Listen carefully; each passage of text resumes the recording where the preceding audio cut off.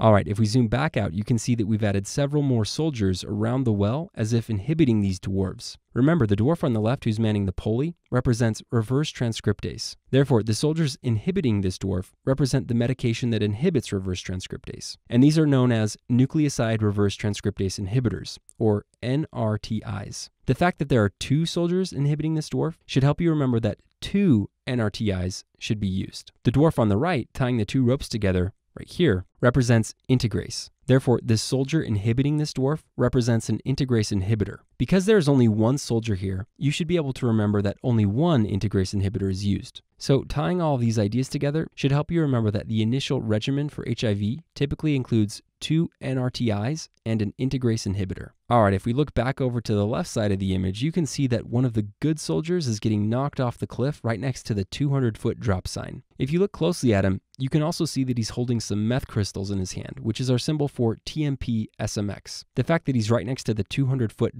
drop sign should help you remember that TMP SMX prophylaxis is administered when the CD4 count drops below 200. This is to prevent opportunistic infections, such as Pneumocystis jirovecii and Toxoplasma gondii. Finally, we've shown a scarecrow with a picture of the US on its shirt. The scarecrow is our symbol for macrolides, and the map of the US should make you think of the 50 states or a CD4 count of 50. So, tying these ideas together should help you remember that macrolide prophylaxis is administered when the CD4 count drops below 50. This is also given to prevent the opportunistic infection Mycobacterium avium complex, or MAC.